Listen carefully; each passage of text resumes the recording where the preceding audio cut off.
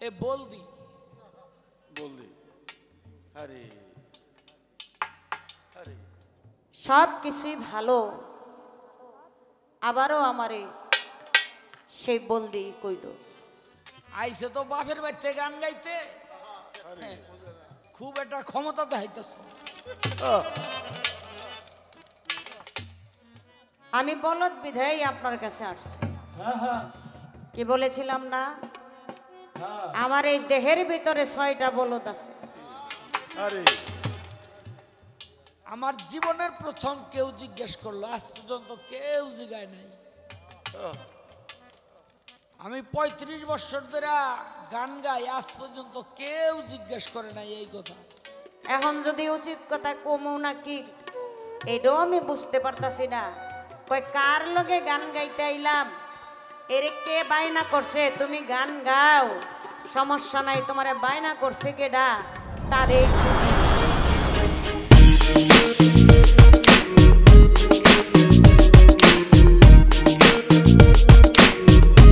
Hello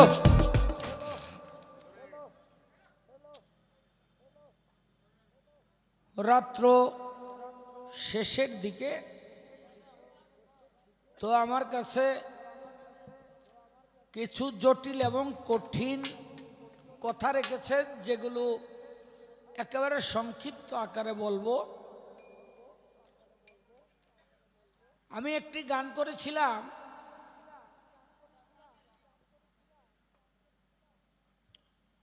মানুষ রতন করতারে যতন প্রাণে তোমার যারে চায়।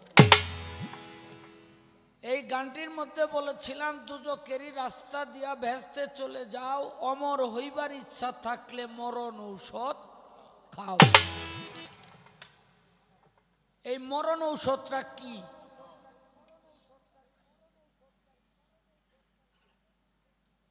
এই মরণ ঔষধটা হলো পীরের হাতে হাত দিয়া জিন্দা মরা।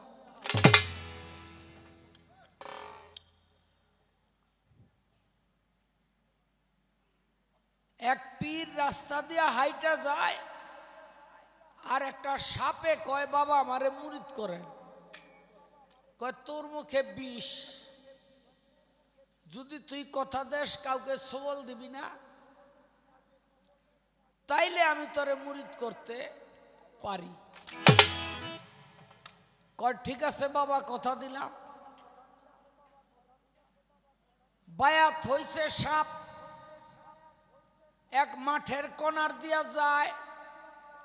মাঠের মধ্যে এই দশ বারো বছরের ছেলেরা খেলায় সাপ দেখাই তো সুটা লইয়া বাড়ি আরম্ভ করছে। বাইরেতে বাইরেতে চোদ্দ আনা মারিয়া লাইছে। মরার মতো পড়ে রইছে। পোলা বানে মনে করছে মরিয়া গেছে, জোরে দৈরা ঘুন্না দিয়া মারছে, ফেইকা, আবার ওই রাস্তায় গিয়া পড়ছে।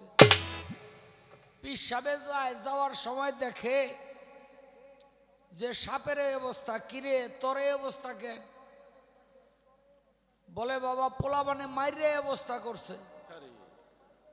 কত মাইরে অবস্থা করল, তুই কিছু কষ্টাই কয়, না বাবা, আপনার হাতে যখন আমি হাত দিয়া বায়াত হইছি তখন ওয়াদা করছিলাম, আমি কামড় দিব না। এই জন্য আমি কাউকে আর সবল দেই নাই। বিষধর সাপ, সেও যদি মুর্শিদ ধরে, বিষ থাকার পরও সেই বিষ কাজে লাগায় না। এটার নামই মরা। এজন্যই বলছে, অমর হইবার ইচ্ছা থাকলে মরণ ঔষধ খাও। দুজকারী রাস্তা দিয়া ভেস্তে কেমনে যায়? মুনসুরের এক বোন ছিল বই নইল বড়, মুনসুর হইল ছোট। এলাকার মানুষ কয়, মনসুর, তুমি এত ভালো মানুষ, তোমার বইনের তো চরিত্র ভালো না। কয়, কেন? কয়, খবর পাও নাই। কি? এই যে রাইতের বেলা গভীর রাইতে উঠে যে জঙ্গলে যায় কোন নাগর ভাও করছে। মনসুর কর তাইলে আমার আজকে দেখতে রাইতেল বেলা ঘুমের ভাঙ ধরে শুয়ে রইছে। গভীর রাইতে দেখে ঠিকই বইনে তো দরজা খুললা, কই জানি যায়। পিছে পিছে মনসুর রওনা দিছে। দেখে জঙ্গলার ভিতরে ঢুকতেছে যেখানে বাঘ ভাল্লুকের ভয়। মনসুর কয় বই বইনে এমন পিড়িতেই মজে যে বাঘ ভাল্লুকের ডর ভয় ওর মনের মধ্যে নাই। নাই। ঢুকছে জঙ্গলের মধ্যে গিয়া দেখে বারো জন পুরুষ। বই নইল একলা। মনসুর কয় আমার বইনে কামটা করছে কি? আরে একজনের লগে প্রেম করলে নাইলে বিয়া দিয়া দিতাম। এখন হইল বারো জন নাগর। এই বারো জনের লগে আমি এক বইনেরে কেমনে বিয়া দিই?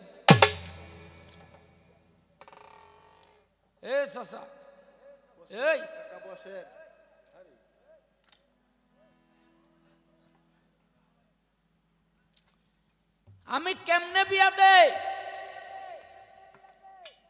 আমার জানতে হবে এই বারো জন কারা। একটা গাছের মধ্যে উঠা আড়ালে সব দেখতাছে। দেখে বারো জন পুরুষ আর মনসুরের বোন। এই তেরো জনে মিল্লা মাবুদের আবাদতে বইয়া পড়ছে। সারা রাত বন্দেগি করছে।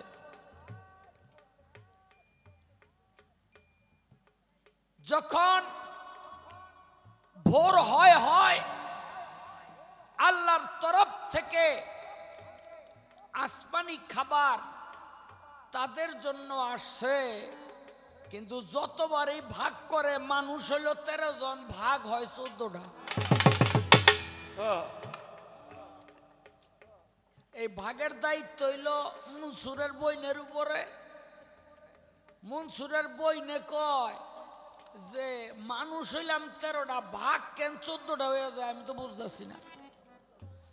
তখন ওই জায়গার মধ্যে যিনি সর্দার ছিলেন অলিকুলের, তিনি বললেন, ভাগ চোদ্দটা হয়, আমরা মানুষও চোদ্দ জন হই। কয়, তা আরেকজন? আরেকজন উই যে দেখো গাছে। চাইয়া দেখে নিজের ভাই বলে, ও তো আমাদের সাথে আবাদতে সামিল ছিল না। ভাগ চোদ্দটা হয় কেন? এটা তো জান্নাতি খাবার। বলে, ভাগ চোদ্দটা এই জন্য হয়, যদি ও আবাদত করে নাই, কোন অলিয়া উলিয়ার আবাদত করতে যদি কেউ দেখে, ওইটাও আবাদত।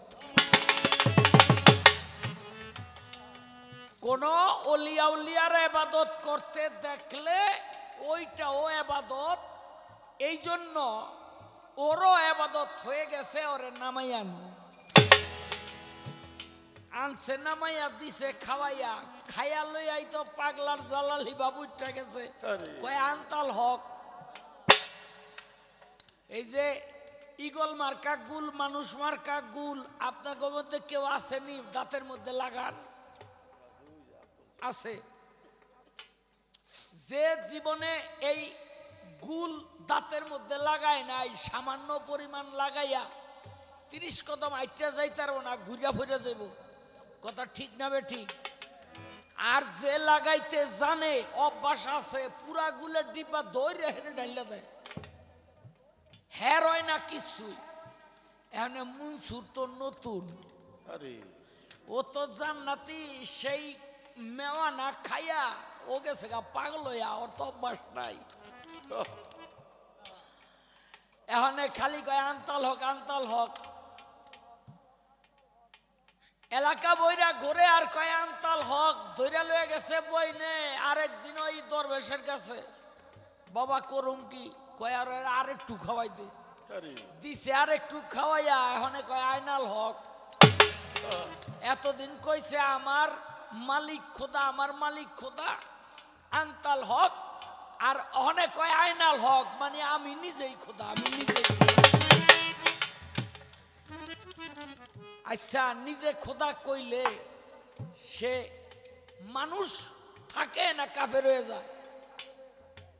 সে কিন্তু আর মানুষের মধ্যে থাকে না। আবার দিক দিয়া দেন ফেরাউনও কইছে, আমি খোদা। কিন্তু ফেরাউন যাইব দুজকে মনসুর কইছে, আমি খোদা মনসুর যাইব জান্নাতে। কেন? ফেরাউন কইছে, তকাব্বরি কইরা। আর মনসুর হইল নিজের মধ্যে যখন দেখছে মাবুদের অস্তিত্ব। মাবুদ ছাড়া নিজের কোনো অস্তিত্ব নাই। তখন সে বলছে আয়নাল হক, আমি খোদা, ওই খোদা বলায় কোনো দোষ নাই। ওই যে কইছে, আমি খোদা, এইটাই দুজকের রাস্তা। এই রাস্তা দিয়াই জান্নাতে গেছে গা। আমি একটা গান করি, পরে তার বাকি প্রশ্নের জবাব করব গুরু সূক্ষ্ম শান্ত, নিত্য মুক্ত, অন্তিম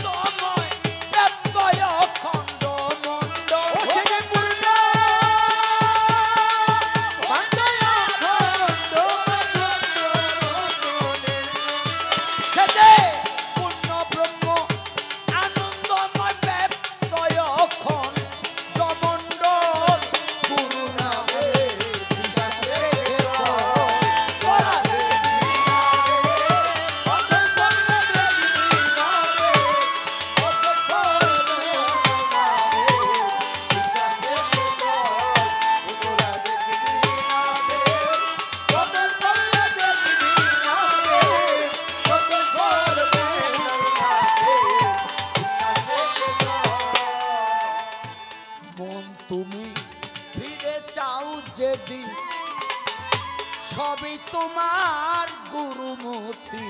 বিশ্বাস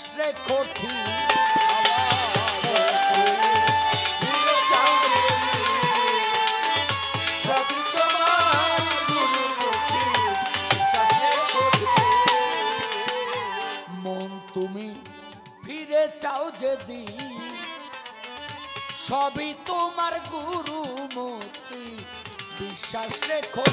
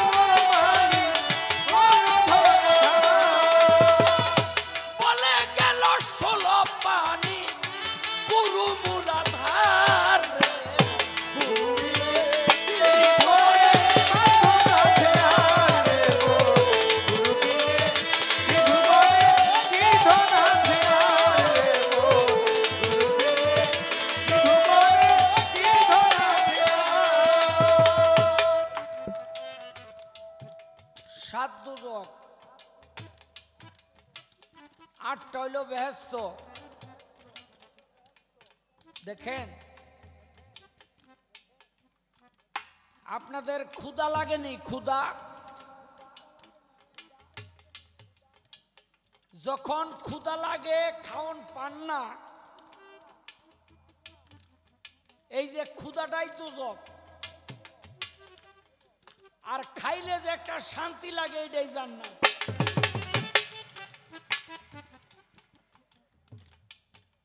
আপনি কাজে ব্যস্ত।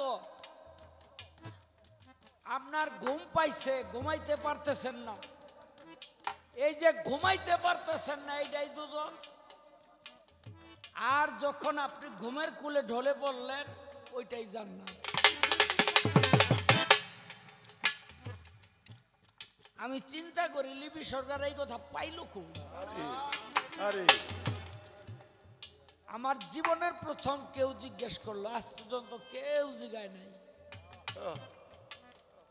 আমি পঁয়ত্রিশ বছর ধরে গান গাই, আজ পর্যন্ত কেউ জিজ্ঞেস করে নাই এই কথা। এরপর হলো কাম কাম। যখন আপনার কামের জ্বালা ওঠে, সেটাই দুজন যারা সাধক, তারা কামজালাকে আয়ত্ত করছে, চিরতরে জান্নাতে গেছে গা। এর আর কোন দুদকে যাওয়ার ভয় নাই। রজ্জবালি দেওয়ান বলছেন, দেখ যমুনার পারে মানুষ নামলে কি আর মরে? বৎসরেতে ছত্রিশ দিন প্রভু এসে ধামাইল ধরে। এইভাবে যে হয় রে স্বাধীন, বৎসরে তার যায় বারো দিন। সুযোগ পাইলে একদিন মণি কোঠা ধরে, ওই পারে রিমন মোহিনী তারে খুশি করে মাল কোঠার ধন আটক রেখে বসে বসে ব্যাপার করে। দেখ যমুনার পারে মানুষ নামলে কি আর।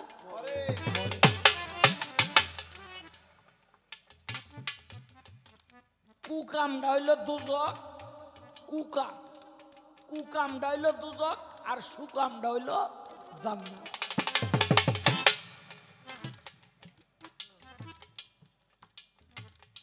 এরপরে আসেন রোগ রোগ। জ্বর, জরা জ্বর, জরা, বেধি।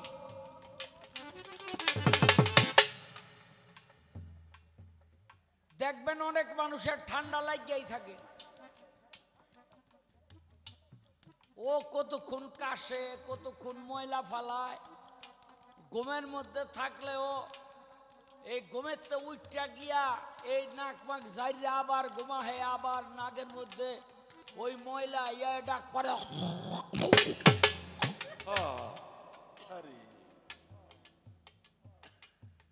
এটা হলো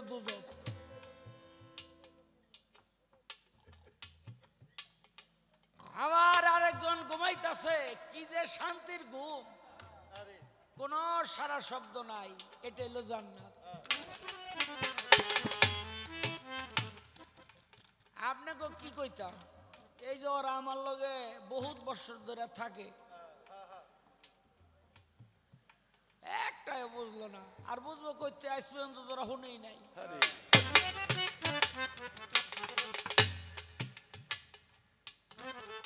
কিছু কিছু মানুষ আছে। ওর মায় মরলে ও চোখ দিয়ে এক ফোঁটা পানি বাইর হয় না। বাপ মরলে ও চোখ দিয়ে এক ফোঁটা পানি বাইর হয় না। আর পীর মুর্শিদের মহব্বতে তো ওর পানি নাই। আছে না নাই? যে এই প্রকৃতির, এটা হলো দুজক। আর যার পীর মুর্শিদের মহব্বতে চোখ দিয়া পানি বের হয়, এটা হলো জান্নাত। জান্নাতে খালি প্রেম আর প্রেম। এবার আসেন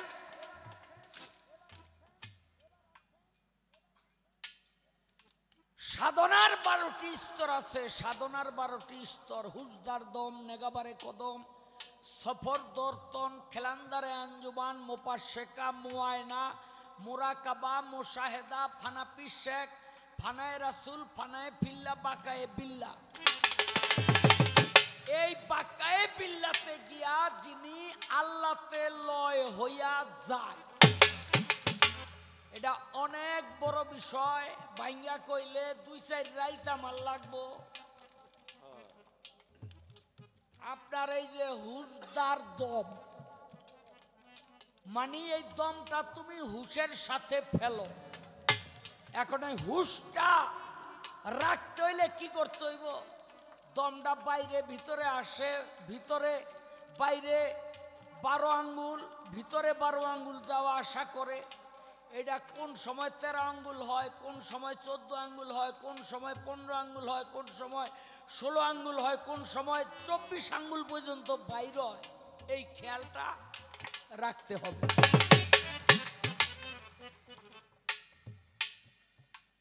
এটাকে বলা হয় হুশদার দম। এই দমের আবার পাঁচটি ভাগ। প্রাণবায়ু, অপ্রাণবায়ু, সমবায়ু উদান বায়ু ব্যান বায়ু নাকের বাইরে যেটা আসে, এটা হলো অপ্রাণবায়ু। ভিতরে যেটা থাকে, এটা হলো প্রাণবায়ু। এটাকে চব্বিশ আঙ্গুলের বেশি বাইরে আইতেও দেয় না, চব্বিশ আঙ্গুলের বেশি ভিতরে যাইতেও দেয় না। এটা যে বিনা রশি দিয়ে আটকাইয়া রাখছে, এটারে কয় সমবায়ু। এরপরে ঢেকুর আসে, ঢেকুর। আসে না। একটা বাতাস কিন্তু বাইর হয়। এটারে কয় উদান বায়ু। আর পায়খানার রাস্তা দিয়া আর একটা বাতাস বাইর হয়, যেটাকে বলা হয় ব্যান বায়ু। আসতে, এখন এই বায়ুর করণটা কি? কেন এই বায়ু বিভিন্ন জায়গা দিয়া বাইর হয়? আপনি হাত দিয়া হারাম খাবার গ্রহণ করছেন। এই হারাম খাবার পেটের মধ্যে গিয়া আন্দোলন শুরু করে দিছে।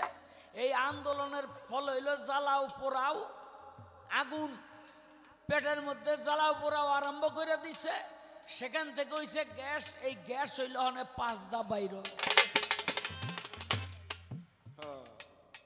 এই জন্য আল্লাহ রসুল কইছে তুমি নামাজ পড়বা যদি পেছন দিক দিয়া বায়ু বাইর হয় তাইলে তোমার অজু থাকব না। আসলে অজু থাকব না, এটা বাতাসের কারণে না। যেই কারণে বাতাসটা বাইর ওই কারণে তোমার অজু নাই।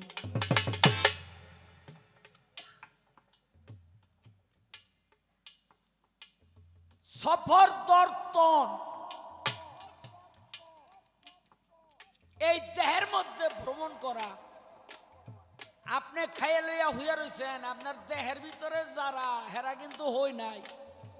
কি?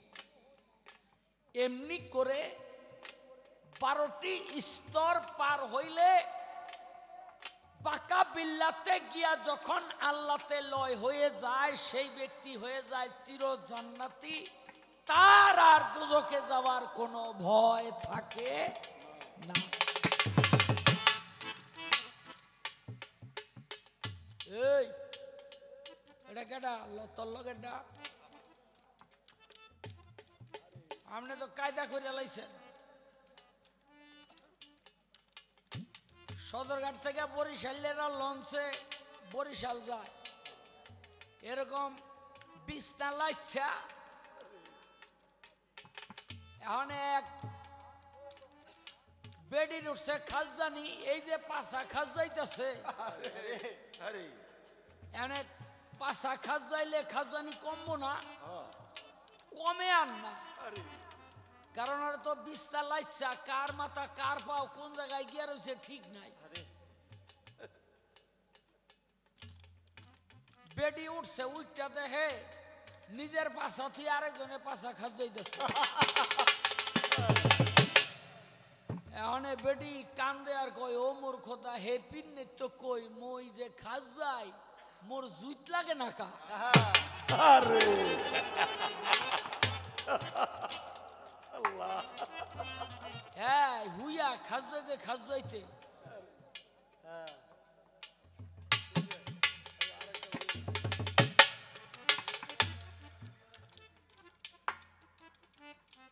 তো আমি একটা কথায় খুব কষ্ট পাইছি পরিষ্কারভাবে কই। বলেন বলেন। কয় গল্প গুজব দিয়া টেকা লইয়া যাইব আমার বাপের বাচ্চা থেকে এটা আমি ওইকে দিব না। লিপি সরকার, আমি যে কি কইছি এটা বুঝার থার্মোমিটার তোমার নাই।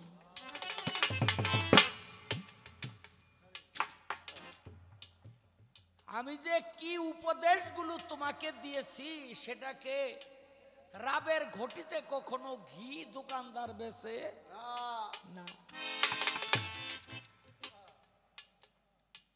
একজন মাস্টার ছাত্রগ পড়ায়।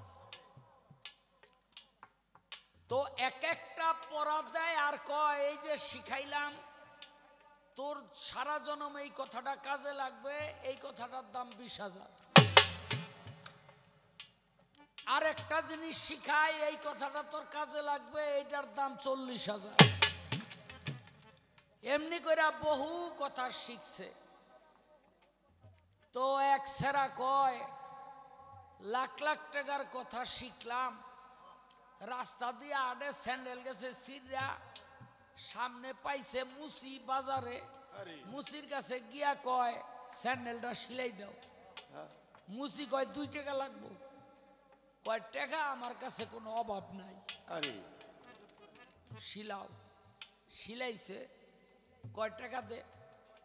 কয় টাকা দিলে তো দুইটা পাইবে আমি তোমার এমন একটা কথা শিখাই দিয়া যাই এটার দাম বিশ হাজার টাকা।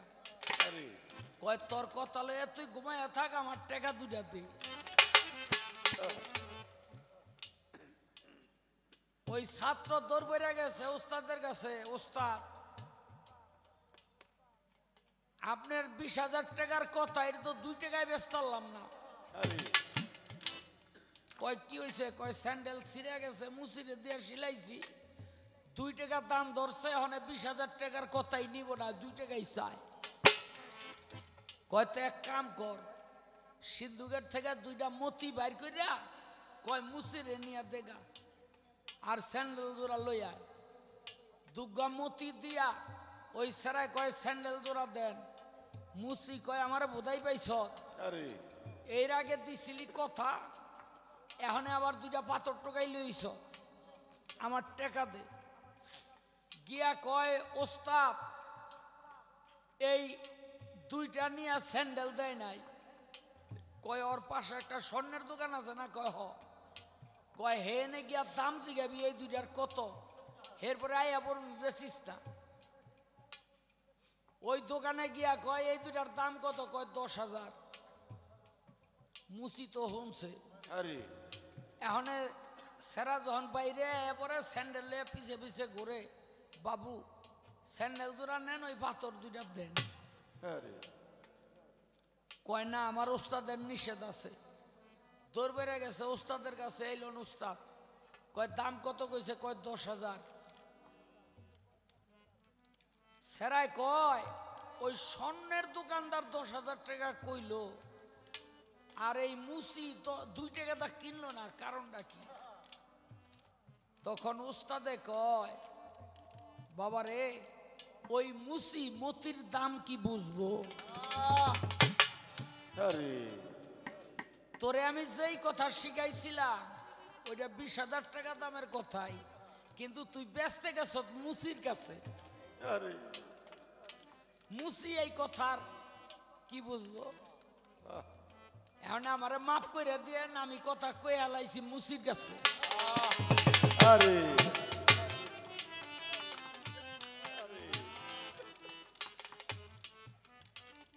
আমি যেই কটা উপদেশ তোমারে দিছি, তুমি যদি খালি পার্থিব জীবনে এই কথা কয়টা মাইনা চলো, তাইলে তোমার মাজা রইব মাজা আর যদি মাইনা না চলো, ওই যে এই কথাই কও, গল্প গুজ, তাইলে গুরুস্থানে টাইনা নিয়ে হালাই থুয়াইব গুরুস্থানে আর থাকতে পারবে না, গুরুস্থানে জায়গা হইব। গুরু স্থান আর গোরস্থান দুইটা দুই জিনিস। আইসে তো বাপের বাড়িতে গান গাইতে। হ্যাঁ, খুব একটা ক্ষমতা দেখাইতেছ।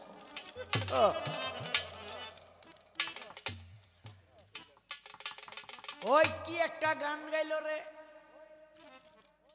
এই উল্টা কথা ভাও করিয়া দাও হে আমার গুরুধন। জন্মের আগে খাইতে গেলাম ভূতের বাড়ি নিমন্ত্রণ। এই গুরু শিষ্য শিষ্যের ভাগ পাইলে ব্যাগতেই এরকম গান গায়। আমি খালি চিন্তা করি এগুলিরে গান হিগাইছে কারা? আরে। এক এলাকার মধ্যে এক বয়াতি গান গাইতেছে বন্দনা শোনার পরে ব্যাগ গেছে গা। আরে। তো এক বেটা একটা লাঠি লইয়া ঘুরে স্টেজের চতুর্দিক দিয়া বয়াতি তহনে বইয়া পড়ব। ওখানে বেটায় কয় তুই বহিস না তুই গান গা তোর কোনো দোষ নাই আমি বিশ্রাইতাছি তোরে আনছে কেন? আরে। আমি বিশ্রাইতাছি তোরে আনছে কেডা? তুমি গান গাও তোমারে আমি কিছু কম না কম হইল তোমারে গানটা হিগাইছে কেন আরে। রাইতে রইল শেষ দিক হপায় তুমি লই আইছ। ওই জারে দিয়া দুনিয়া লো সে কেন গো দেখতে গেল? আরে। আরে। কি রে বাবা কই আইয়া পড়ছি? আই সেটা কইলে কি জন্মের আগে খাইতে গেলাম আমরা কই আগুন পানি বাতাস মাটি নূর আর হিন্দু মতে বলে পঞ্চভূত। এই জন্মের আগে মায়ের উদরের মধ্যে গেছিলাম না? কি? ওইটাই ভূতের বাড়ি। ওই যে পঞ্চভূত আগুন, পানি, বাতাস, মাটি, নূর। ওইটাই পঞ্চভূত। এই ভূতের বাড়ি নিমন্ত্রণ খাইতে গেলাম। কি কি খাইলাম? মায়ের বুকের দুগ্ধ খাইছি, পেটের মধ্যে থাইকা। এরপর হইল যারে দিয়া দুনিয়া আলো, তারে কেন দেখতে কালো? এই যে চোখের দিকে চাইয়া দেখেন, প্রত্যেকটা মানুষের চোখের কোটরার ভিতরে যে ওই যে গোল মণিটা এটা কিন্তু কালো। কি? এবং এই কালোটা দিয়াই এই জগতের সব দেখা হয়। এজন্য বলা হয় যারে দিয়া দেখতে কালো তারে কেন দেখ যারে দিয়া দুনিয়া আলো তারে কেন দেখতে কালো।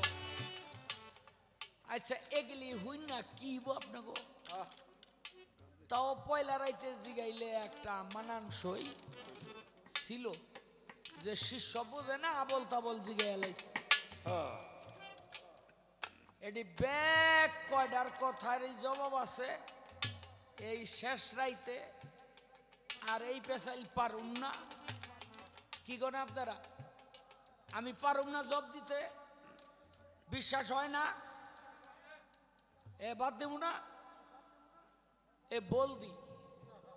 বললি আরে আরে। কি কইতাম রে বাবা?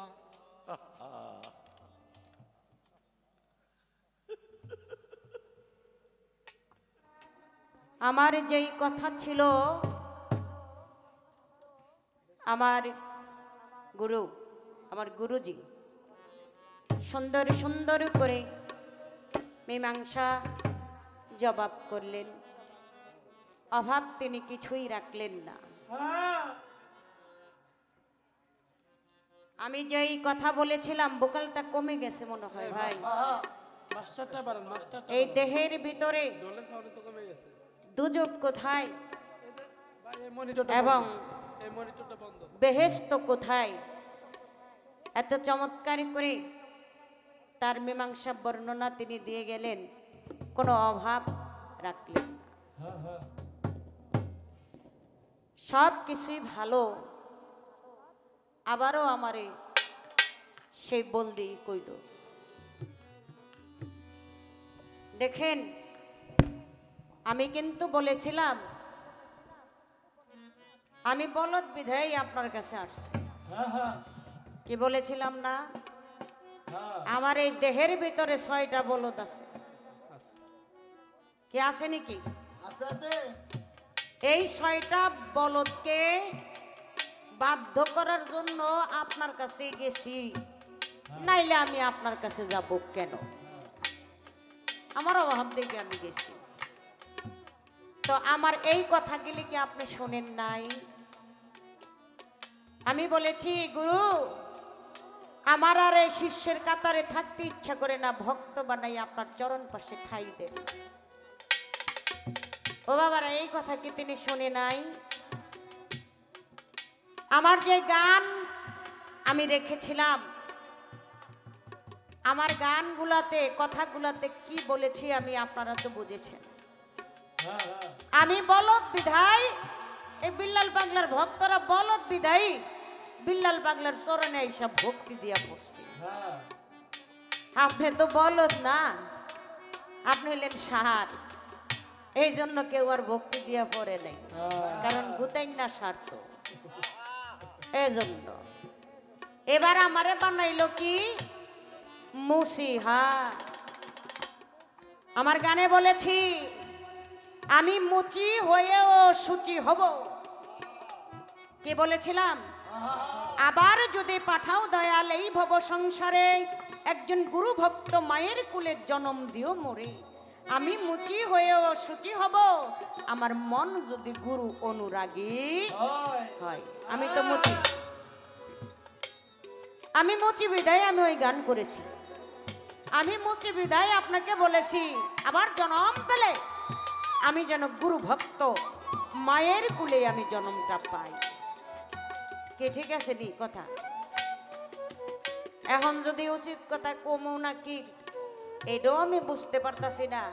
কয়, কার লগে গান গাইতে আইলাম? এরে কে বায়না করছে? তুমি গান গাও। সমস্যা নাই, তোমারে বায়না করছে কেডা? তারেই খুঁজি। হ্যাঁ? কয়, তারে না এটাও কইছে, পরে কইছে গান শিখাইছে কেডা? এইটা কইয়া আবার কয়, গান শিখাইছে কেডা? আমারে বায়না করছে কেডা? আপনি জানেন না? আপনারে যারা করছে সব যারা করছে আর কি। এরাই আমারে বায়না করছে। কেটে কিনা আপনারে যারা করছে এরা আমারে বায়না করছে। আর আমি গান শিখছি কই? আমি গান শিখছি লতিফ সরকারের কাছে। এই যে আজকে আসবে আরিফ দেওয়ান সুনীল বাবু। আগামীকালকে আজকে তো হয়ে গেল। দশ তারিখে আসবে আমার উস্তাদ। লতিফ সরকার আর কাজল দেওয়ান সাহেব। আমি লতিফ সরকারের থেকে গান শিখছি।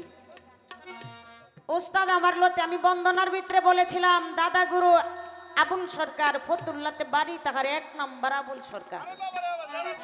আমার জেডা গুরু শাহ আলম সরকার, বলছিলাম উস্তাদ আমার লতিফ সরকার, বলছিলাম, এই যে আপনি একটা বঙ্গবন্ধুর গান গাইলেন, আলাউদ্দিন বয়াতি আমার দাদা গুরু আবুল সরকার তার উস্তাদ হইল হাজি শাহাবুদ্দিন বয়াতি। এই হাজি শাহাবুদ্দিন বয়াতির উস্তাদ হইল কবি আলাউদ্দিন বয়াতি। আল্লাহ দেখেন গোড়াগড় সুবিধা কয়ে দিলাম আমি থেকে গান শিখে আসছি। পারলে আপনার গোড়াগড়টা এমন শক্ত দেখায় আছে কি নাই? হ্যাঁ? আমার যেটা গুরু শাহ আলম সরকার যারে এক নামে চিনে। জাটা গুরু আমনের গুরু আমনের যেটা রেখে চিনে আপনার তো জাটা গুরুই হ্যাঁ? কোন তো আমনের কি দাদা গুরু আবুল সরকার এক নাম্বার আছে নাকি? নাই। এর লেগেই কইছিলাম এই গল্প যোগ দিয়া এতগুলি টাকা নিয়ে যাবেন গা। কই? যার লগে গান হয় গুরু শিষ্য পাল্লাটা দিলে খালি এই গানটাই গায় না। আপনার সাথে এই জায়গায় গান হইতেছে চার থেকে পাঁচ বছর ধরে আপনার লগে, আমার লগে। এই সিরিয়ালে, এই স্টেজে আমি এই গানটা কোনো সময় আপনার সাথে গাই নাই। এই আজকে গাইলাম। গানটাকে আপনি অবহেলা করলেন, আপনি একটা কবি, গীতিকার, সুরকার, আর যে গানটা লেখছে সেই ময়মনসিংহের জালালউদ্দিন খা, যার অজস্র গান, যার গান মুখস্থ করতে গেলে দাঁত থুতা লইরা যায় লেখা গান আপনি একটা গীতিকার সুরকার এত বড় হইয়া আরেকজনকে ছোট করবেন আপনি এটা পাইলেন কই? এই বেটাটারে যে কেটা গান শিখাইছে এ রে আমি খুঁজি। এ রে আমি খুঁজি কারণ এ রে খুঁজলে আমার লাভ হইব এ রে ধরে আমার লাভ নাই। কি কইতাম? অনেক কথা। অনেক কথা। আরে, এই জুতা লইয়া ও বিনা হিসাবে গুরু রূপে রূপ লইয়া এই দাম ত্যাগ করবে। আপনারা এই ঘটনা অনেকেই জানেন। কি জানেন না? এই ঘটনা অনেকেই জানেন। তাই ওই ঘটনার ভিতরে আমি আর যাব না। আমির খুসরু নিজামুদ্দিন আউলিয়ার ঘটনা সবাই জানেন। আর আমারে মুসি বানাইলেন। আলী মুসির ঘটনাও আপনারা জানেন। যে আলী মুচি জুতা সেলাই করত, আর মনে মনে ভাবতো আমি হজে যাব। জুতা সেলাই করত আর পয়সা রাখতো। অর্ধেক সংসারে দিত আর অর্ধেক রাখতো হজে যাওয়ার জন্য। অবশেষে যাই নাই কিন্তু তার হজ কবুল হইছে। আমারে মুসি বানাইছেন। যে না বোঝে কথার বেকারণ তার সাথে কথা বলা অকারণ। অযথাই শুধু শুধু কথা বইলা আমার সময় নষ্ট করার কোনো দরকার নাই।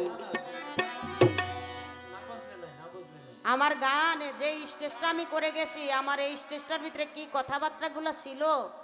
দয়াল আপনার কাছে, আপনি ভালোটা ফেলে দিয়ে মন্দটা আবার ধরে তুলেছেন।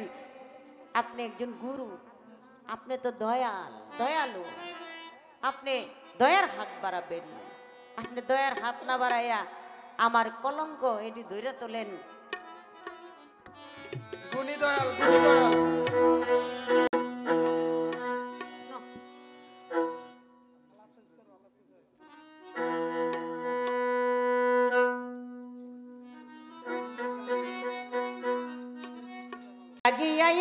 কান্দে।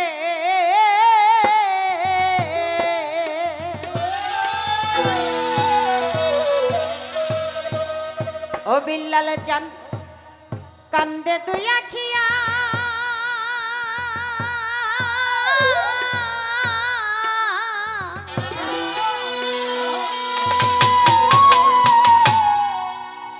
বাবু চান